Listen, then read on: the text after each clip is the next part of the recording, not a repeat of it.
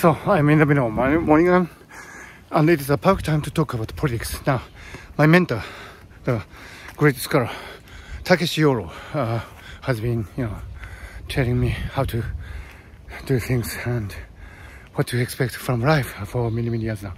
Uh, Takeshi Yoro, uh, he always says that uh, he doesn't like politics. Uh, he doesn't want to be involved in politics, and that's because uh, he doesn't want to affect other people's lives in a forced, forced way.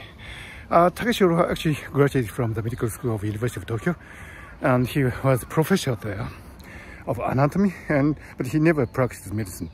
Uh, that's because he didn't want to affect other people's lives. Of course, medical doctors save other people's lives, but at the same time, uh, through his decisions, he would have affected the uh, fortunes and misfortunes and lives and deaths, death of other people, and he didn't want to do that.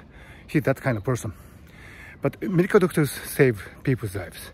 How about politicians? I mean, they make policies, and sometimes they declare war, like President Putin is doing, and would affect the lives of millions of people without their asking to do so. And that is politics, and that is something that Takeshi didn't want to do.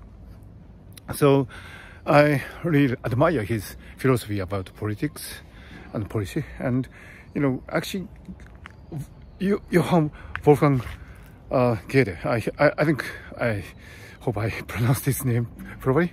Uh, anyway, Goethe. Goethe uh, wrote uh, a really wonderful and memorable passage in his magnum opus Faust, uh, which uh, Faust, who became the minister of a nation, uh, makes uh, political decisions and would, uh, uh, uh, as a result, affect the lives of an elderly couple, um, forcing them to live um, elsewhere. and he, they have been living in a hut, and but because of this irrigation project, I think they are forced out of their you know habitat, and that actually destroys their lives, and that could be the you know unexpected side effects of policy making. So Goethe didn't.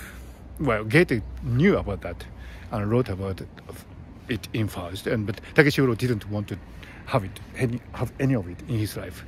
So that's politics, and that's why probably I don't like politics either. I mean, of course, politicians can affect other people's lives um, in good ways, just like medical doctors can. But um, at the same time, it, it, can have unwanted side effects, and I don't want to have that in my life. And so, Takeshi I think, is very aware of that, and much more than those insensible politicians, and that's why he doesn't want to have anything to do with politics or politicians, and probably that's my philosophy too. With that thought, I keep my morning run.